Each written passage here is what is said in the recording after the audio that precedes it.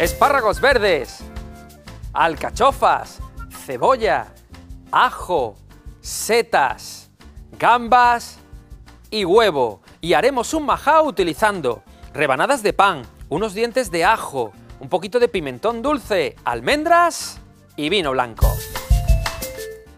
Freír las almendras, tres dientes de ajo enteros y golpeados y las rebanadas de pan en una cacerola con unas cucharadas de aceite de oliva virgen extra.